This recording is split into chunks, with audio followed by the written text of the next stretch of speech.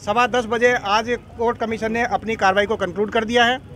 आज ये court commission की कार्रवाई वाराणसी के जो आदि विश्वेश्वर ओल्ड टेंपल कॉम्प्लेक्स के बारे में जो न्यायालय के आदेश से की जा रही थी, वो समाप्त हो गई है। और अब आज के सवा दस बजे के बाद इस कोर्ट कमीशन की कार्रवाई में कल जब तक अदालत में जवाब नहीं लग जाता है, तब तक कोई कार्रवाई नहीं होनी है। अदालत का अगला आदेश क्या आएगा, वो सत्रह मई को पता लगेगा। सभी पक्षकार बड़े ही संतुष्ट होकर वापस गए हैं।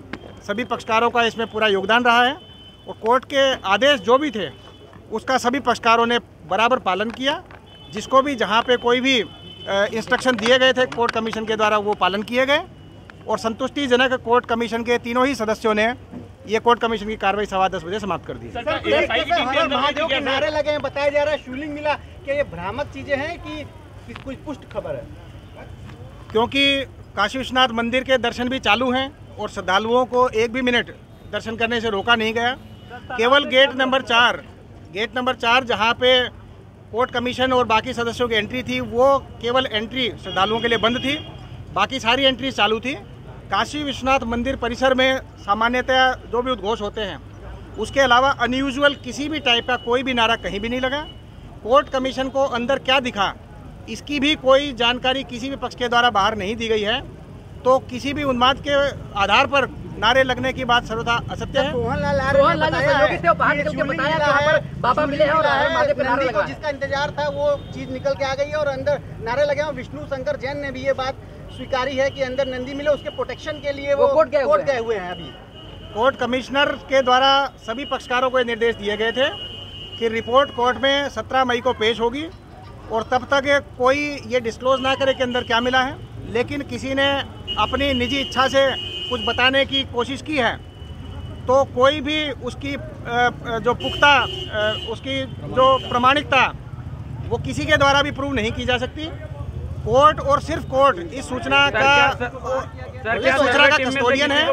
अगर किसी भी पक्ष ने आपको ये बात बताई है तो ये उनकी निजी विचार हैं इससे कोर्ट कमीशन की कार्रवाई का कोलेज क्या किसी सर क्या किसी सर्वे टीम टीम में मेंबर से को किसी को बाहर किया गया है? टीम मेंबर को ये कल कल की सूचना है।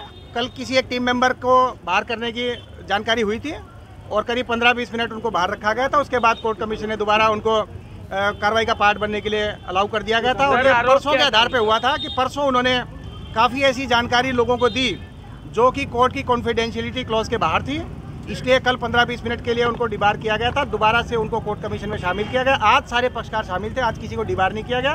पहले दो दिन कोर्ट टीम की कार्रवाई एक आदर्श वातावरण में संपादित हुई, जिसको सभी पक्षकारों ने उनका जो फीडबैक आया है, सभी पक्षकारों ने सराहा है कि प्रशासन ने और पुलिस ने बहुत निष्पक्षतापूर्वक एक आदर्श वातावरण सृजित किया, जिसमें माननीय न्यायालय का जो आदेश है, उसकी जो कंप्लायंस है, वो पूरी हो पाई है।